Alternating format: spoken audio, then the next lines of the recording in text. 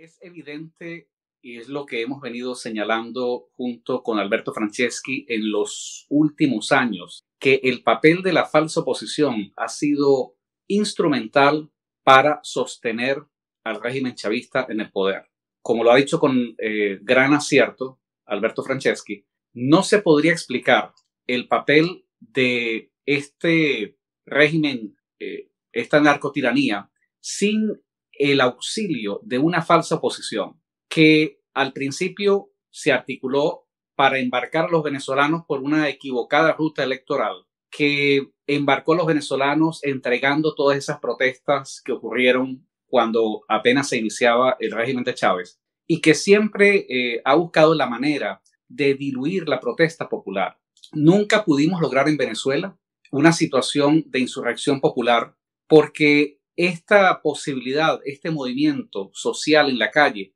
siempre quedaba neutralizado, vendido, entregado por estos partidos que utilizaban esa energía simplemente para insistir en lo que hasta el día de hoy sigue siendo la petición fundamental de esta falsa posición, que son condiciones electorales. Siempre desde el principio ellos se han centrado en esta consigna, que es lo que ha permitido debilitar y llegar a una situación como la que tenemos en este momento, donde prácticamente no hay posibilidad de articular un movimiento social en la calle porque estamos frente a un país que ha sido diezmado. Es una situación que en mi opinión es peor a la que eh, sucedió a la guerra civil en Venezuela, donde tenemos una población que ha sido completamente desarticulada, que está prácticamente en una condición de supervivencia. Pero esto es lo que la falsa oposición utiliza para hacerse valer para seguir en ese proceso legitimador con el régimen y para eh, seguir abonándole legitimidad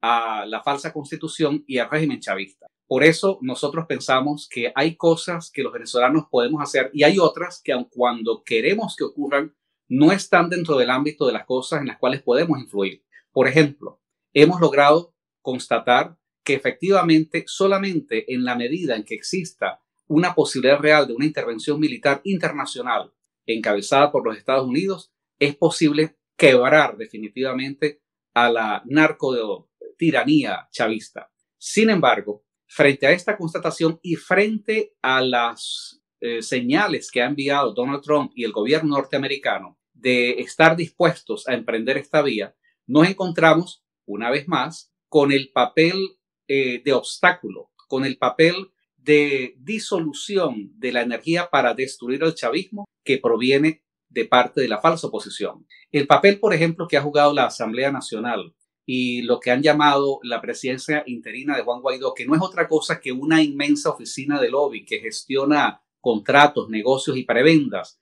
para gente que actúa bidireccionalmente para el chavismo y para los falsos opositores. Esto sigue creando eh, una, una situación de distracción en el ámbito de la política norteamericana porque efectivamente existen algunos funcionarios que le rinden crédito a la situación de que hay una supuesta representación del el pueblo venezolano que no es tal porque la gente no se siente representada por esa Asamblea Nacional y menos aún por Juan Guaidó, pero sin embargo ellos exhiben esta representación. Entonces, para nosotros se trata de que lo que corresponde a los Estados Unidos, que es articular esa intervención militar internacional en Venezuela para quebrar definitivamente a la narcotiranía, es algo que ellos tendrán que resolver en los próximos meses y que nosotros esperamos que ocurra, eh, ojalá, pronto, porque el grado de deterioro y de destrucción de Venezuela realmente no admite la espera de un día más. Sin embargo,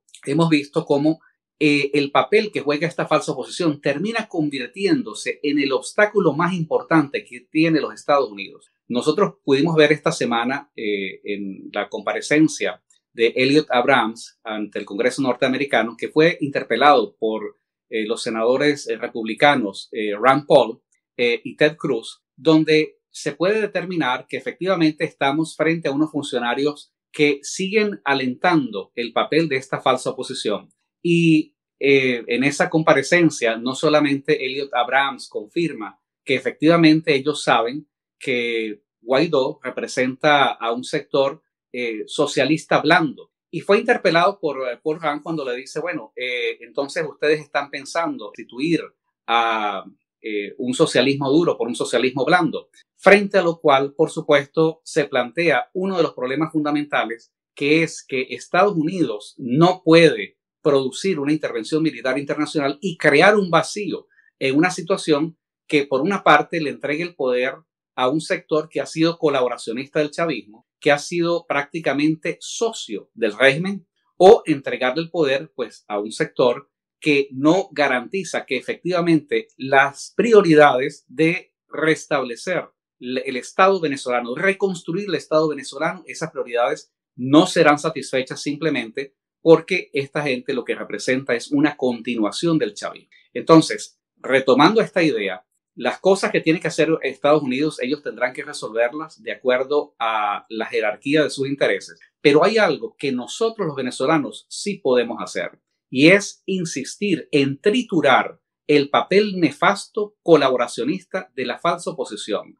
para que de esta manera se le pueda hacer ver también a los norteamericanos de que esta representación a la cual algunos funcionarios mm, le, le rinden tributo es una representación que podría llevar perfectamente a los Estados Unidos a un fracaso si como una solución de continuidad ocurre la intervención y ellos decidieran entregarle el poder justamente a lo peor de la clase política venezolana. Yo creo que los venezolanos tenemos todavía mucho trabajo por hacer para poner al descubierto, para poner al desnudo el papel desastroso, el papel destructivo que ha hecho la falsa oposición y que de esa manera se le pueda presentar a los Estados Unidos como uno de nuestros mejores aliados, que efectivamente hay una inmensa mayoría de venezolanos. Hay millones de venezolanos dentro y fuera de Venezuela que no se sienten representados por esa falsa oposición. Pero estos venezolanos, estos millones de, estos millones de personas que están revestidos de una impecable calidad ética y profesional,